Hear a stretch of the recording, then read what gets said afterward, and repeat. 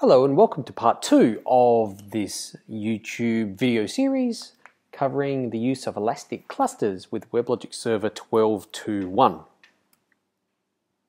This video is intended to follow part one where I demonstrated how a dynamic cluster could be elastically scaled up and scaled down using the WebLogic scripting tool. In this follow-on video, I'm going to use the WebLogic administration console to perform the same actions. Let's take a look at the demonstration.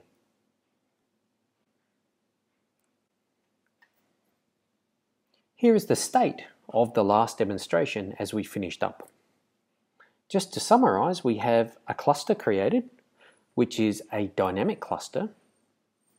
And within that dynamic cluster, we currently have two managed server instances.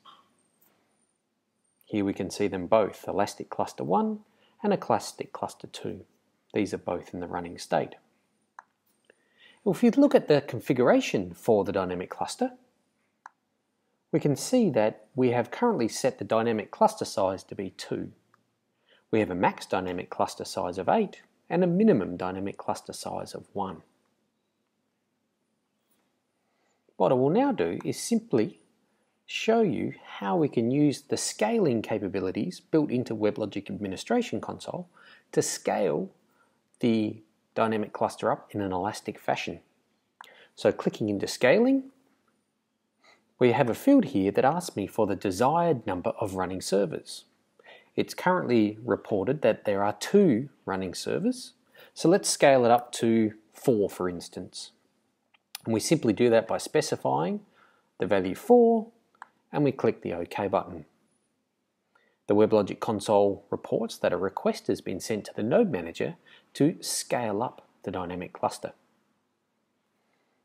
If we look in the Start Stop tab, we can see now that an additional two managed server instances have been dynamically created and are in the process of being started.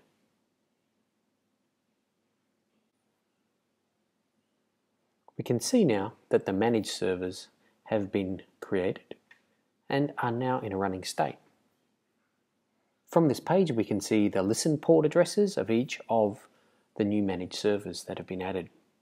As I mentioned on the previous video in part 1, the use of the WebLogic plugins that supports Apache, Oracle HTTP Server and so forth can be automatically updated with this list of dynamic uh, servers that are associated with this dynamic cluster such that it can route requests that it receives from clients across the set of managed servers.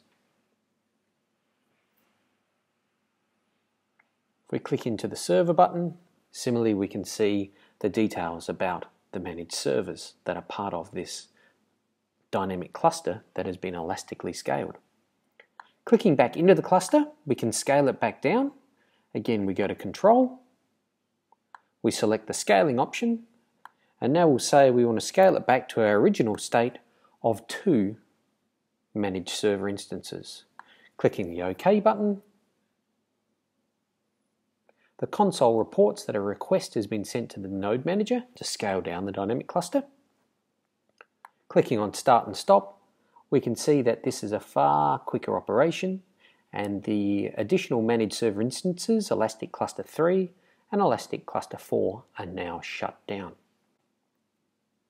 So what we've seen in this very short video is the ability to elastically scale a WebLogic Server Dynamic Cluster up and down using the scaling function built into the WebLogic administration console.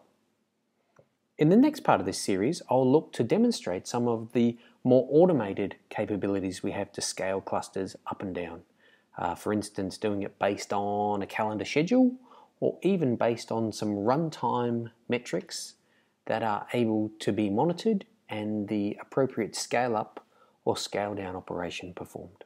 Until then, thanks for watching and we'll see you with the next video.